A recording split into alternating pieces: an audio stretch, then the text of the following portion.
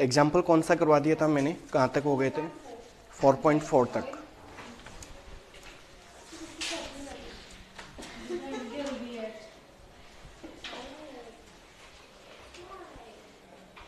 Example number 4.5 4.5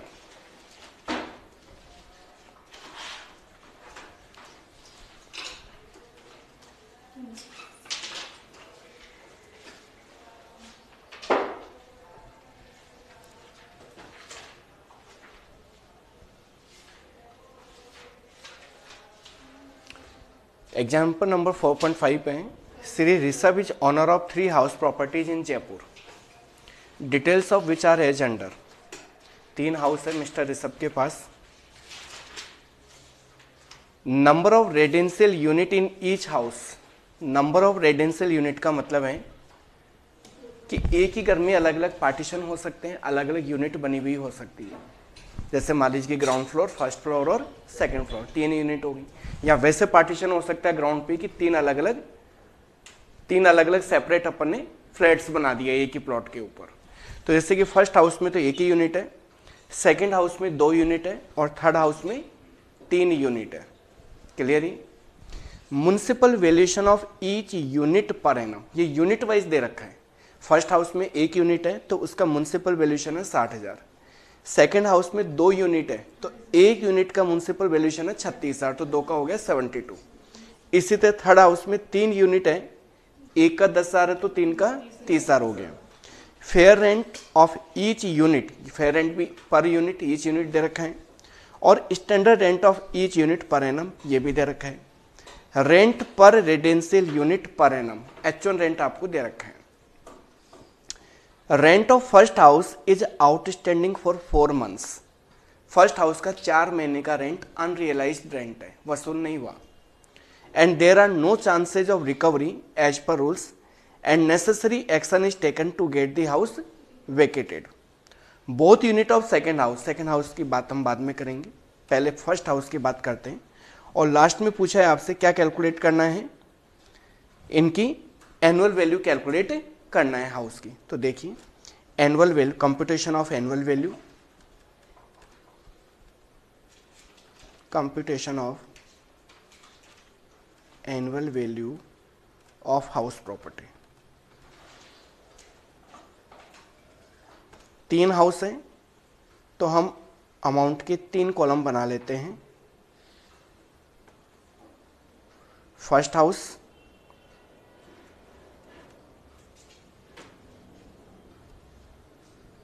second house और third house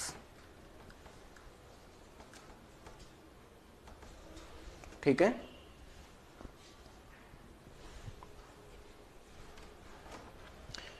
first house का municipal valuation आपको दे रखा है कितना?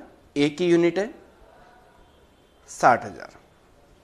फेयर रेंट फ़र्स्ट हाउस का फेयर रेंट है सिक्सटी सिक्स थाउज़ेंड तो सबसे पहले हम एक्सपेक्टेड रेंट निकालेंगे स्टेप वन में। और एक्सपेक्टेड रेंट क्या होता है? म्यूनसिपल वैल्यूशन और fair rent whichever is higher ठीक है, इन दोनों में हायर ले लेते हैं। हायर हो गया आपका सिक्सटी सिक्स थाउज़ेंड अब इसको हम कंपेयर करेंगे किससे? स्टैंडर्ड रेंट से। स्टैंडर्ड रेंट आपको दे रखा है कितना? Sixty three thousand whichever is lower lower of आप पूरा लिख देना।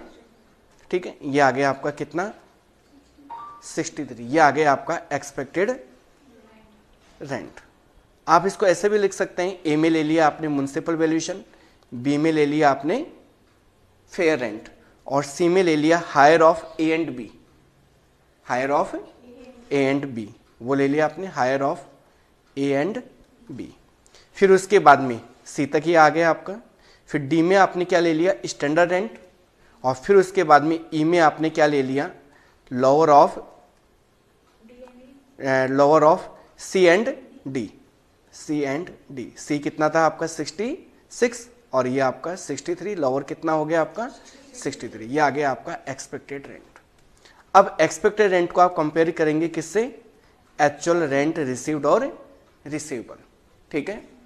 एक्चुअल रेंट आपको दे रखा है sixty six thousand per annum तो मैंने आपको ये बताया था कि जब आप एक्चुअल रेंट लेंगे तो उसमें कुछ एडजस्टमेंट आपको करने पड़ेंगे।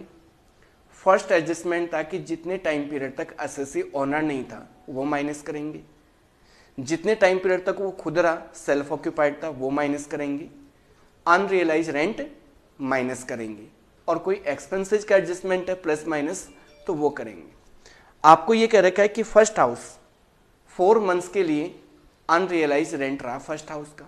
आउटस्टैंडिंग था। किराएदार ने नहीं दिया किराया। तो इस एक्चुअल रेंट में से माइनस क्या कर देंगे? फोर मंथ्स का रेंट माइनस कर देंगे। अब फोर मंथ्स का रेंट कितना होगा?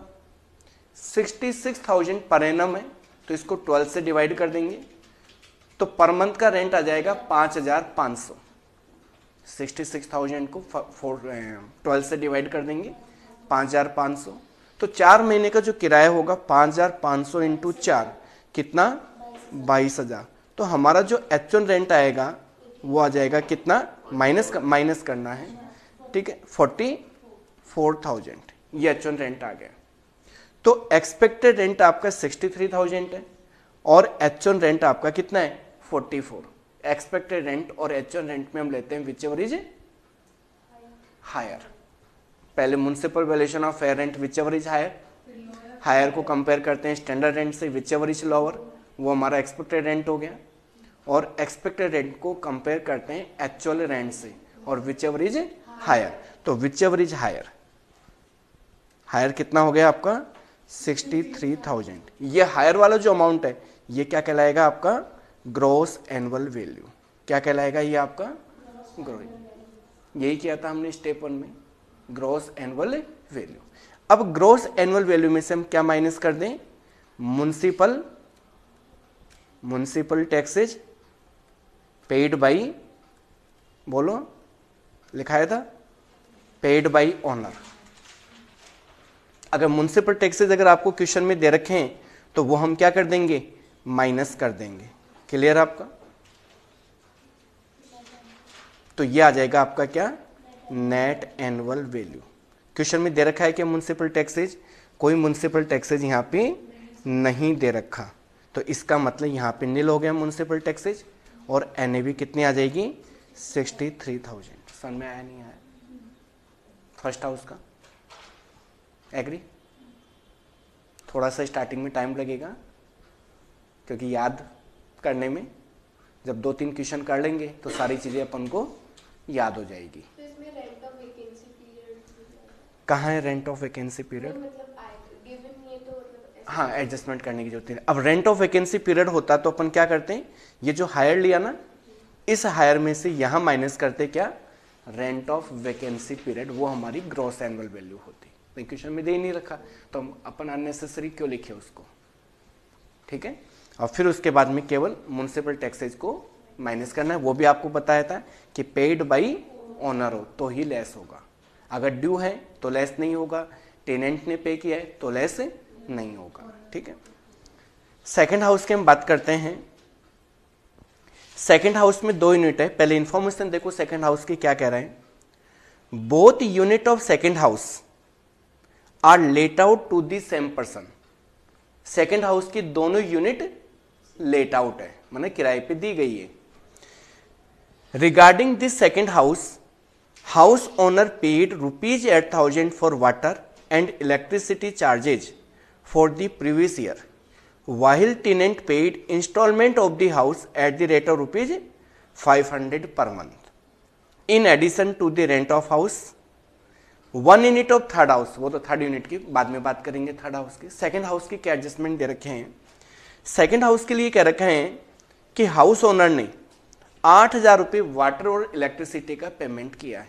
ध्यान रखना हाउस प्रॉपर्टी में किसी भी एक्सपेंसेज का कोई डिडक्शन नहीं मिलेगा एक्सेप्ट म्यूनसिपल टैक्सेज आपको क्वेश्चन कंफ्यूज करने के लिए चाहे पचास तरह के खर्चे दे। Insurance electricity water fire fighting charges कुछ भी खर्चे दे, चाहे टेनेंट पे करें, चाहे ओनर पे करें, उनका कोई एडजस्टमेंट कोई डिडक्शन नहीं मिलेगा। केवल डिडक्शन किसका मिलेगा? म्यूनसिपल टैक्सेज का पेड बाई ओनर हो तो। इसके अलावा और किसी खर्चे का डिडक्शन नहीं मिलेगा। लेकिन हाँ जब एक्चुअल रेंट में अपन एडजस्टमेंट करते हैं, जो लिखवाया था मैंने आपको plus minus adjustment for expenses कि एम्प्लॉयर लैंडलॉर्ड के कोई खर्चे थे टेनेंट ने पे कर दिया, या टेनेंट के कोई खर्चे थे लैंडलॉर्ड ने पे कर दिया। तो उनका एक्चुअल रेंट में एडजस्टमेंट होगा बाकी और कोई खर्चों का डिडक्शन नहीं मिल। तो यहाँ आपको क्वेश्चन में दे रखा है कि लैंडलॉर्ड ने आठ हज़ार रुपये का वाटर और इलेक्ट्रिसिटी बिल पे किया। तो भाई क्या एहसान कर दिया? तुम्हारा घर पे नहीं करोगे क्या? किसी खर्चे का कोई डिडक्शन नहीं मिले। कंफ्यूज करने के लिए दे रखा है।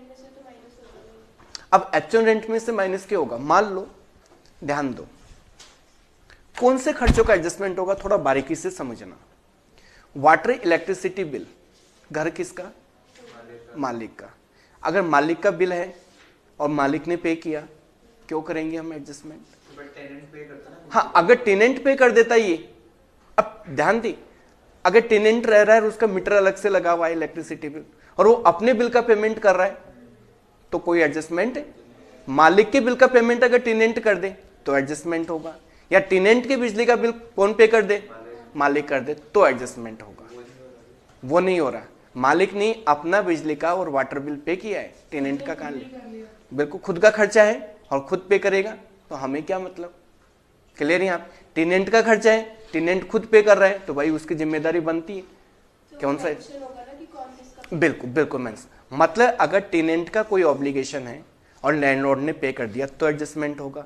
लैंडलॉर्ड का कोई ऑब्लिगेशन है और टेनेंट ने पे कर दिया तो एडजस्टमेंट होगा। अदरवाइज़ जो खुद खुद के खर्चे हैं तो खुद पे करोगी यहाँ पे कोई डिडक्शन नहीं मिले। हाँ आगे ये कह रखा था जैसे while tenant paid instalment of the house 500 per month in addition to the rent of house अब मकान की जो किस्त जा रही है इंस्टॉलमेंट का जो पेमेंट हो रहा है वो किसकी ज़िम्मेदारी है? नहीं मकान मकान मालिक की। मकान किसका है? ओनर का। और मकान के लिए अगर लोन लिया है तो उसकी जो इंस्टॉलमेंट चुकाएगा, वो कौन चुकाएगा? ऑनर चुकाएगा टेनेंट क्यों चुकाएगा? और यहाँ उसकी इंस्टॉलमेंट किसने पे कर दी? टेनेंट ने पे कर दी। तो ऑब्लिगेशन ओनर का था और पे किसने कर दिया? टेनेंट ने। तो इसका एडजस्टमेंट होगा इंस्टॉलमेंट का। एक्चुअल रेंट में से प्लस माइनस होगा। क्लियर अब ध्यान दो। यहाँ पे एक्चुअल रेंट आपको कितना दे रखा है? जैसे रेंट पर रेजिडेंशियल यूनिट अड़तालीस हज़ार रुपए दे रखा है। पर एनम अड़तालीस हज़ार रुपए अब ध्यान दो। पाँच सौ रुपये पर मंथ का इंस्टॉलमेंट का पेमेंट किया। मैंने साल भर का कितना पे कर दिया? छह हज़ार रुपये। अब मुझे बताओ कि मालिक का कोई खर्चा था और टेनेंट ने पे कर दिया छह हज़ार रुपये। तो इसका मतलब वो जब रेंट देगा तो पूरा थोड़ी देगा? रेंट कम देगा? भाई, जितना उसने पे कर दिया इंस्टॉलमेंट उतना अमाउंट काट करके तो पे करेगा मालिक को। तो जबकि वास्तव में उसका रेंट ज़्यादा रहा होगा। अब रेंट जैसे यहाँ पे अड़तालीस हज़ार रुपए दे रखा है तो अड़तालीस में नहीं रहा होगा रेंट रेंट अड़तालीस प्लस छ कितना? चौवन हज़ार रुपए रहा होगा। तो वास्तव में रेंट कितना रहा होगा? चौवन हज़ार। अब हुआ क्या कि टेनेंट ने छह हज़ार रुपए पे कर दी तो चौवन हज़ार में छह हज़ार काट ली और रेंट कितना दिया उसने? केवल अड़तालीस हज़ार का ही दिया उसने। समझ गए? मान लो कि मैं आपके किराएदार हूँ, मेरा किराया दस हज़ार रुपये है। मैं आपको, आपका और मेरा कोई अदर ट्रांजेक्शन नहीं है खर्चों का तो मैं आपको रेंट कितना देता हूँ हर महीने? दस हज़ार रुपये। अब मान लो कि आपकी पाँच सौ रुपये पर मंथ की इंस्टॉलमेंट मैंने पे कर दी तो मैं रेंट आपको दस हज़ार दूँगा क्या? फाइव हंड्रेड काट के ही दूँगा मैंने नौ हज़ार पाँच सौ ही दूँगा। लेकिन क्या वास्तव में रेंट नौ हज़ार पाँच सौ है क्या? नहीं तो नौ हज़ार पाँच सौ में पाँच सौ रुपये हमें जोड़ेंगे और रेंट कितना आ जाएगा? दस हज़ार रुपये आ जाएगा। मान लो कि मेरा कोई खर्चा है और आप पे कर देते हो, मालिक पे कर देता है। तो इसका मतलब मैं रेंट के अलावा वो पेमेंट भी तो करूँगा उसको। मान लो कि हज़ार रुपए का कोई पेमेंट कर दिया मालिक ने, जबकि खर्चा मेरा था। मान लो कि मेरे बच्चों की ट्यूशन फ़ीस जमा करा दी उसने। तो ग्यारह हज़ार रुपये अब मैं उसको कितना दूँगा? ग्यारह हज़ार, दस हज़ार तो रेंट और हज़ार रुपये वो। लेकिन रेंट ग्यारह हज़ार है क्या? रेंट तो कितना है? दस हज़ार है तो वो हज़ार रुपये क्या होंगे? माइनस होंगे यहाँ पे, ठीक है? हेलो स्कूल से आ गई थी क्या हाफ़ डे था आज? ठीक है ठीक। बात कर लेना वैन वाले से है ना? ठीक हाँ लास्ट डे है। ना? आज? Half day full day fifth class में। लास्ट डे का हाफ़ डे रहता है ना तीस तारीख आज नवंबर।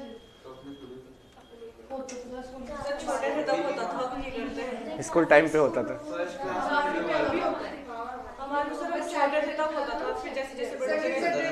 हाँ। सेकेंड सैटरडे की छुट्टी होती है लास्ट डे को हाफ़ डे रहता है। नहीं अब तो होती है सेकेंड सैटरडे थी अच्छा। कोई बात नहीं रहने दो रहने दो कोई बात नहीं चलिए अब सेकंड हाउस की बात करते हैं। एडजस्टमेंट आ गया समझ में? तो सेकेंड हाउस का जो म्यूनसिपल वैल्यूशन है वो है आपका कितना? म्यूनसिपल वैल्यूशन है छत्तीस हज़ार रुपये पर यूनिट तो दो यूनिट का लेना है क्योंकि सेकंड हाउस में यूनिट कितनी है? दो. तो म्यूनसिपल वैल्यूशन हो जाएगा seventy two thousand fair rent आपको दे रखा है फोर्टी एट तो दो यूनिट का कितना हो जाएगा? Ninety six thousand municipal valuation ninety six thousand municipal valuation और fair rent whichever is higher ninety six thousand ये हो गया हमारा.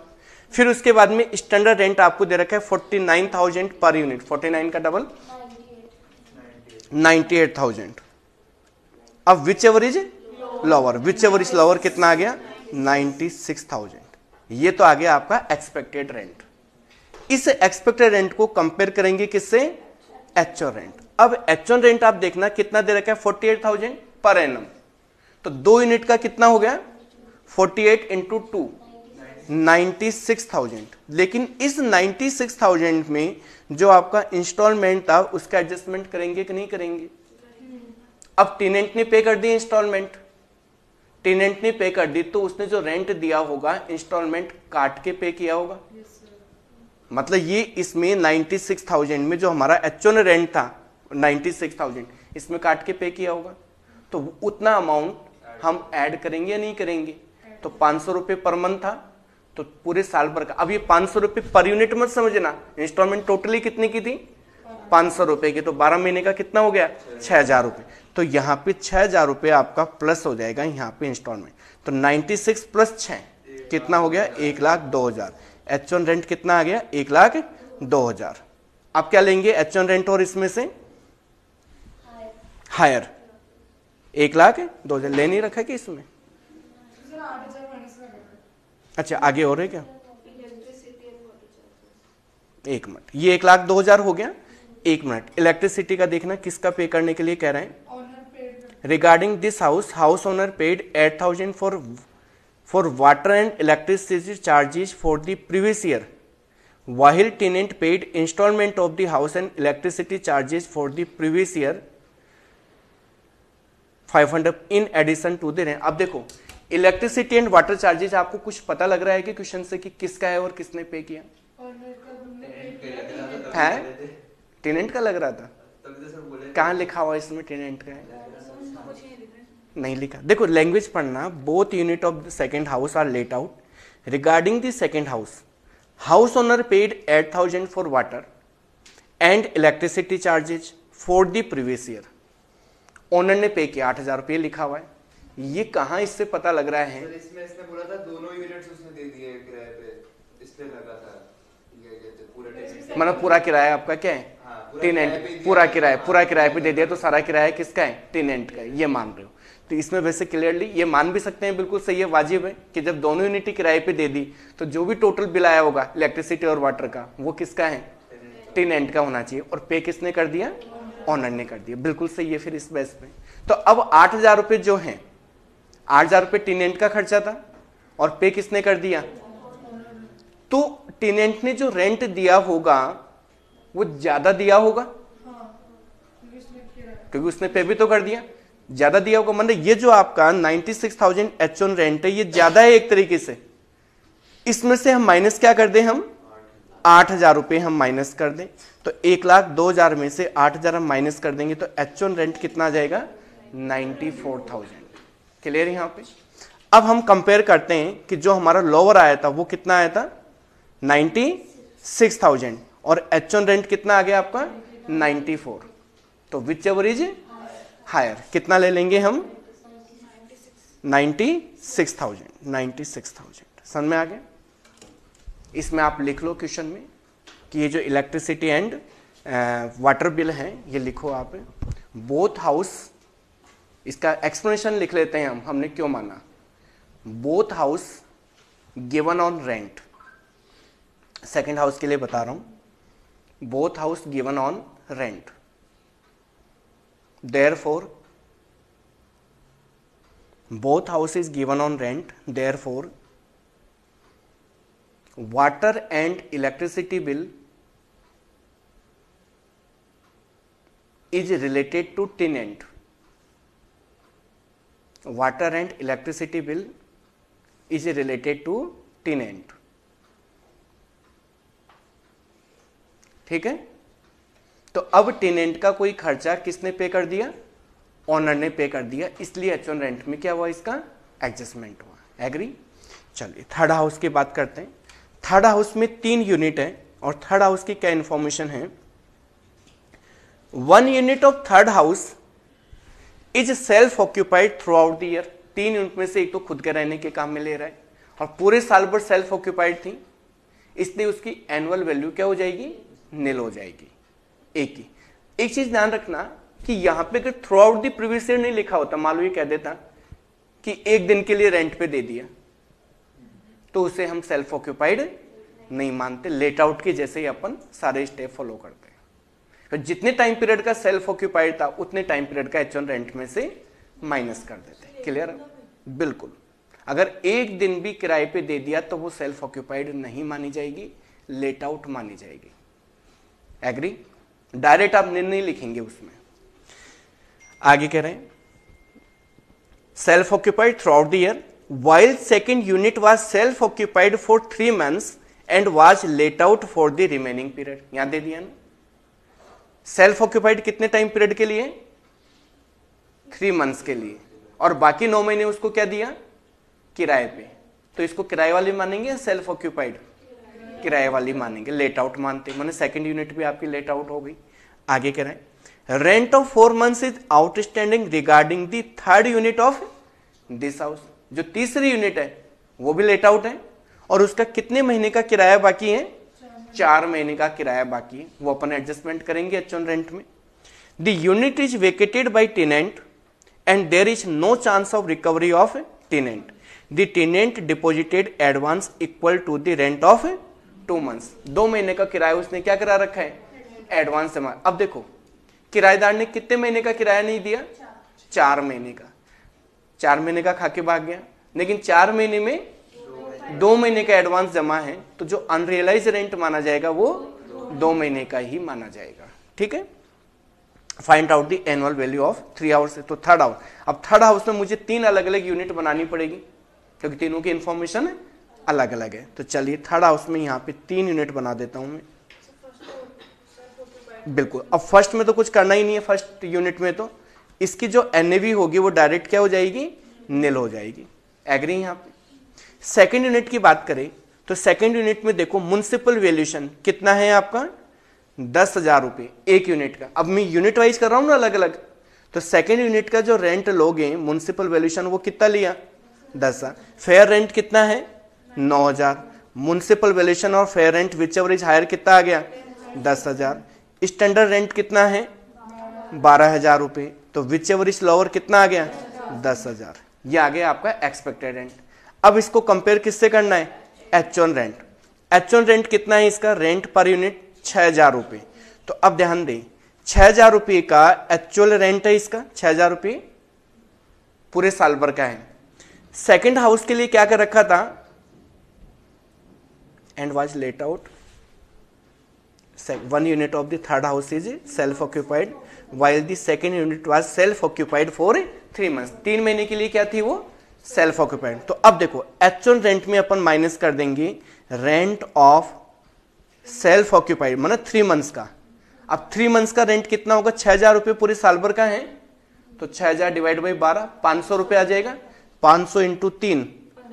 पाँच सौ सॉरी पाँच सौ इंटू तीन कितना? तो एक्चुअल रेंट कितना आ जाएगा? विच एवरेज हायर कितना लेंगे अपन?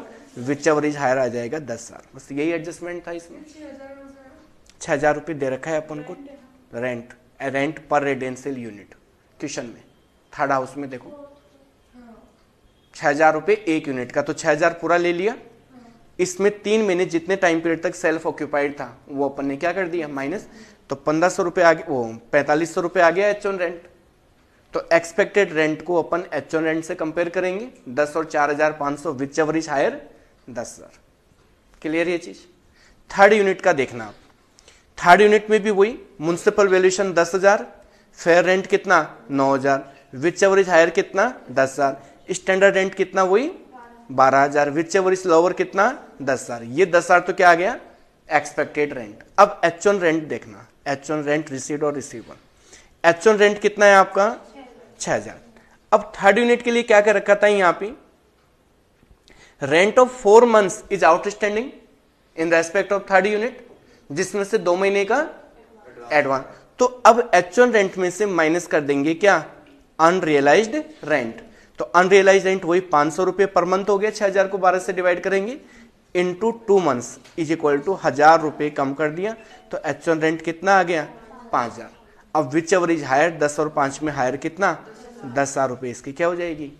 ग्रोस एनुअल वैल्यू समझ में आ गई म्यूनसिपल टैक्सेज अपन को दे नहीं रखा नेट एनुअल वैल्यू अपन को पूछेगी ये तो सिंपल जो परसों पढ़ाया था, वहाँ तक का है। आगे देखो। अब इसमें वर्किंग नोट आपको, जो भी मैंने आपको बताया, ये सारे वर्किंग नोट में लिखने, जो जो आपने कैलकुलेशन करी ना माइनस की एचुअल रेंट में, वो सब। नेक्स्ट देखो। 4.6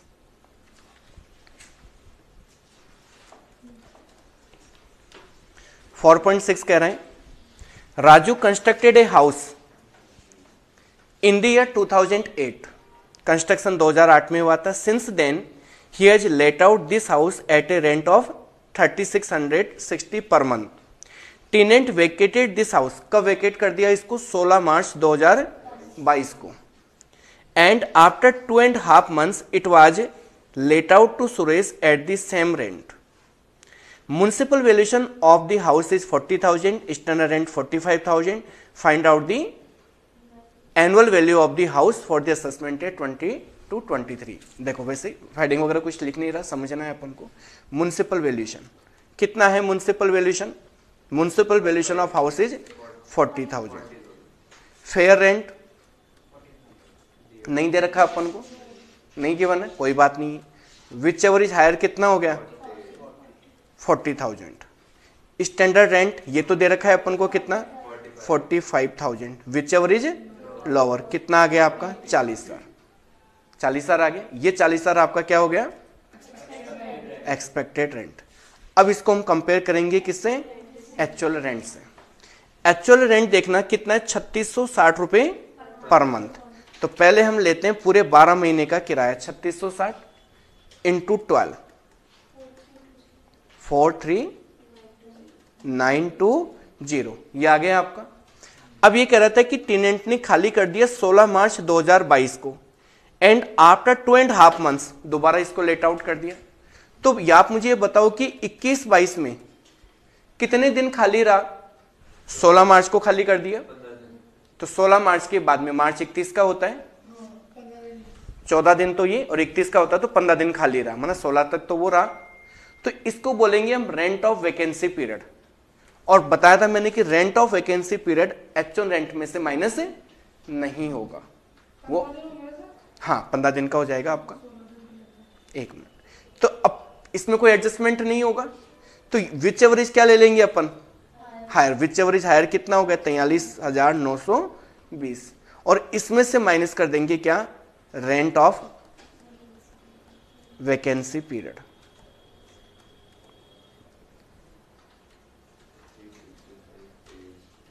अब रेंट ऑफ़ वैकेंसी पीरियड सोल इसमें क्या रखा है कि 16 मार्च को खाली कर दिया तो कितना आना चाहिए? 15 दिन। अब इसने कितना ले रखा है? 16 दिन। एक नोट दे रखा है यहाँ पे, क्या? There are 30 days in March out of which house was let out up to अब 16 मार्च को खाली कर दिया तो मेरे हिसाब से तो 16 तारीख भी क्या होना चाहिए? किराएदार आया, जिस दिन खाली करने आया, उस दिन भी क्या मानेंगे अपन? लेट आउट मानेंगे। यहाँ इनकम टैक्स में जो नोट दे रखा है सही दे रखा है। मैं तो अपने कॉमन सेंस से बोला था कि 16 तारीख तक आया। इनकम टैक्स में क्या मान रखा है? जिस दिन जिस दिन तक रहे जिस दिन तक रहे। मतलब सोलह तारीख को खाली कर रहा है तो इनकम टैक्स क्या मान रहा है? कि पंद्रह तारीख तक वो लेट आउट मान रहा है। तो पंद्रह तारीख तक अगर लेट आउट मान रहा है तो सोलह दिन। ऐसे अपन लोन में लेते हैं ना। ध्यान देना एक बार। ये प्रॉब्लम लोन वाले में भी आती है। वहाँ भी एक नोट डला हुआ